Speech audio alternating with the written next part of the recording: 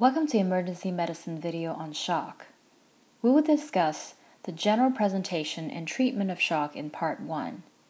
Then in part 2 and 3, we will discuss the specific kinds of shock. What is shock? It is defined as inadequate oxygen delivery to tissue, causing poor perfusion. Shock can be compensated with normal blood pressure or decompensated if there is hypotension. The end result is end organ dysfunction. There are a few different end organs that we're interested in.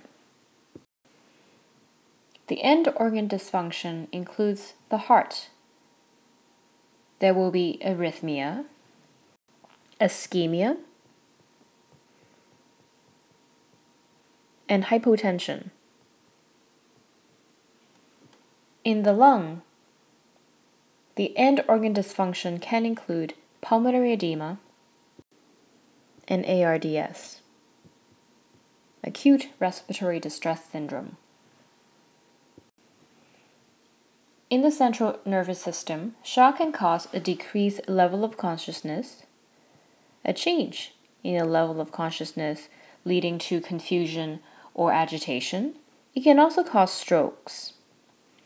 In the liver, shock can cause liver enzymes to go up. It can also cause the liver function test to go up, leading to coagulopathy. Shock can also cause the kidney to fail as well, leading to acute renal failure. Those are the main end organ dysfunction in shock.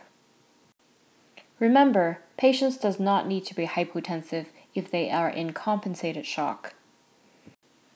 One useful rule is the shock index, which equals to heart rate over your systolic blood pressure.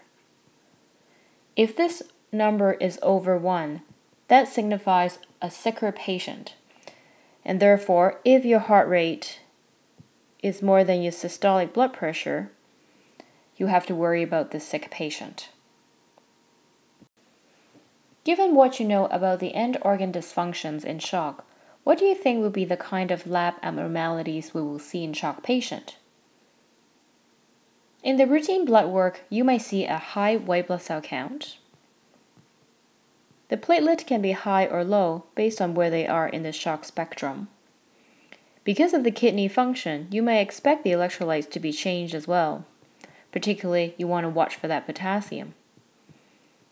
By the same token, the creatinine and the BUN may be high. Due to the liver involvement, you may expect the LFTs to go up. And due to the coagulopathy, you may also expect the INR and PTT to go up. Based on the end organ dysfunction, that is present in the heart, you may expect cardiac enzyme to go up as well. What about other diagnostic abnormalities? Based on the heart dysfunction, you may expect ischemia on ECG. You might be able to see arrhythmia as well. On a chest x ray, you will be able to see ARDS and pulmonary edema. In a patient with stroke like symptoms, clearly a CT head might show some abnormalities. What is the general approach in treating shock patient?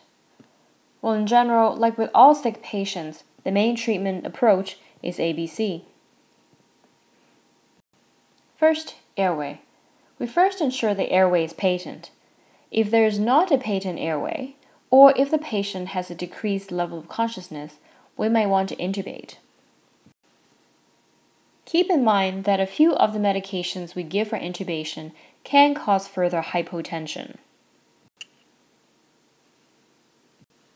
Once the airway is secured, we want to look after breathing by giving 100% oxygen. Patient might also be put on a ventilator if they are paralyzed and not breathing on their own.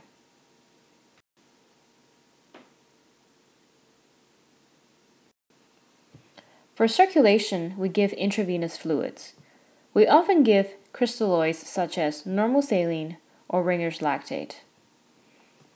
If the fluids still do not increase tissue perfusion, we might add vasopressors. There are specific kinds which are suitable for specific type of shock. We'll discuss those in part 2 and 3. There are five main types of shock. They are septic, hypovolemic, obstructive, cardiogenic, and anaphylactic. We will discuss them in parts 2 and 3 using the basic approach we just discussed. Thank you for watching.